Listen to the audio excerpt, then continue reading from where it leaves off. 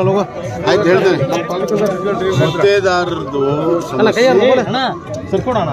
ನೋಡಿ ನಿನ್ನೆ ಮುಖ್ಯಮಂತ್ರಿ ಮೂರು ವರ್ಷ ಬಿ ಜೆ ಪಿ ಸರ್ಕಾರ ಯಾವುದೇ ಬಿಲ್ಲನ್ನು ಪಾವತಿ ಮಾಡಿಲ್ಲ ಹಣ ಬಿಡುಗಡೆ ಮಾಡಿಲ್ಲ ಒಟ್ಟು ಮೂರು ವರ್ಷದಲ್ಲಿ ಆರು ಸಾವಿರದ ಐದುನೂರು ಕೋಟಿ ರೂಪಾಯಿ. ಸರ್ಕಾರ ಮಂಜೂರಾದಂಥ ಯೋಜನೆಗಳಿಗೆ ಬಿ ಬಿ ಎಂ ಪಿ ವ್ಯಾಪ್ತಿಯಲ್ಲಿ ಎರಡು ಥರ ಇದೆ ಅಲ್ಲಿ. ಬಿ ಬಿ ಎಂ ಪಿ ಕಾಮಗಾರಿ ಬೇರೆ ಸರ್ಕಾರ ಸರ್ಕಾರ ಮಂಜೂರಾದಂಥ ಕಾಮಗಾರಿಗಳಿಗೆ ಮೂರು ವರ್ಷದಲ್ಲಿ ಸುಮಾರು ಐದುನೂರು ಕೋಟಿ ರೂಪಾಯಿ. ಕೊಟ್ಟಿದ್ದೀವಿ. ಕಳೆದ ಜನವರಿಯಲ್ಲಿ ಆರುನೂರು ರೂಪಾಯಿ ಹೆಚ್ಚು ಕೊಟ್ಟಿದ್ವಿ. ಫೆಬ್ರವರಿ ಐವತ್ತು ಕೋಟಿ ಬಿಡುಗಡೆ ಮಾಡಿದ್ದೀವಿ. ಮೇ ಆರನೇ ತಾರೀಕು ಅದು ಬಿ ಬಿ ಎಂ ಪಿಗೆ ಅಕೌಂಟಿಗೆ ಬಂದಿದೆ ಅವಾಗೇನು ಸಿದ್ದರಾಮಯ್ಯ ಮುಂದೆ ಇರಲಿಲ್ಲ ಕಾಂಗ್ರೆಸ್ ಸರ್ಕಾರ ಆ ಹಣವನ್ನು ಗುತ್ತಿದ್ದಾರೆ ಯಾರು ಕೆಲಸ ಮಾಡಿದ್ದಾರೆ ಕೊಡ್ರಿ. ತನಿಖೆಯ ನೆಪದಲ್ಲಿ ಬಿಲ್ಲನ್ನು ಪಾವತಿ ಮಾಡದೆ. ಎಲ್ಲ ಕಾಮಗಾರಿಗಳನ್ನು ಸಂಪೂರ್ಣವಾಗಿ ನಿಲ್ಲಿಸುವಂಥದ್ದು ಎಷ್ಟು ಇದರಲ್ಲಿ ಏನು ಅವ್ಯವಹಾರ ಇದೆ ಅಂತ ಸಂಶಯ ಬರ್ತಾ ಇದೆ. ಅದಕ್ಕಾಗಿ ತನಿಖೆ ಮಾಡ್ತೀವಿ ತನಿಖೆ ಮಾಡ್ತೀವಿ ಅಂತ ನೋಡ್ತೀವಿ.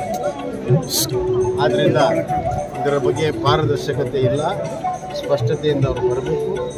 ಮತ್ತು ಇನ್ನೊಂದು ಹೇಳಿದ್ದಾರೆ ಮೋದಿಯವ್ರ ಮೇಲೆ ನಂಬಿಕೆ ಇಲ್ಲ. ನಾನು ಹೇಳ್ತಾ ಇರೋದು ಸ್ವಾಮಿ ಇಲ್ಲಿ ಕಾಂಗ್ರೆಸ್ ಸರ್ಕಾರ ಇದೆ. ಕಾಂಗ್ರೆಸ್ ಸರ್ಕಾರದ ಮೇಲೆ ಆಪಾದನೆ ಬಂದಿದೆ. ಮೊನ್ನೆ ದಿಲ್ಲಿಗೆ ಹೋದಾಗ ರಾಹುಲ್ ಗಾಂಧಿ ಅವರು ಹೇಳಿದ್ದಾರೆ ನಾವು ಭ್ರಷ್ಟಾಚಾರ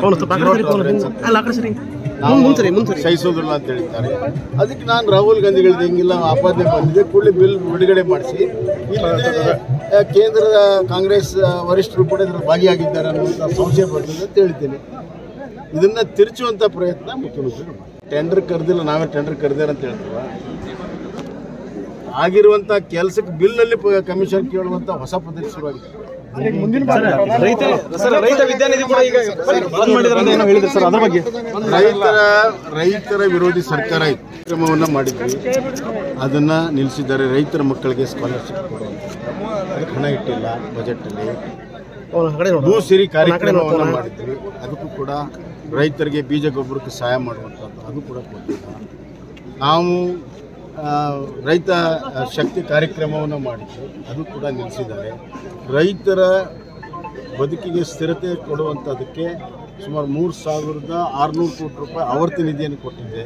ಅದು ಕೂಡ ಇವತ್ತು ಬಿಡುಗಡೆ ಅಷ್ಟೇ ಅಲ್ಲ ರೈತರಿಗೆ ಇನ್ಶೂರೆನ್ಸ್ ಅನ್ನ ಮಾಡಿದ್ವಿ. ನೂರ ಎಂಬತ್ತು ಕೋಟಿ ರೂಪಾಯಿ ಕೊಟ್ಟು ಅರವತ್ತೇಳು ಲಕ್ಷ ಜನ ರೈತರಿಗೆ ಇನ್ಶೂರೆನ್ಸ್ ಕೊಡಬೇಕು ಅನ್ನುವಂಥ ತೀರ್ಮಾನ ನಾವೇನು ಮಾಡಿದ್ವಿ.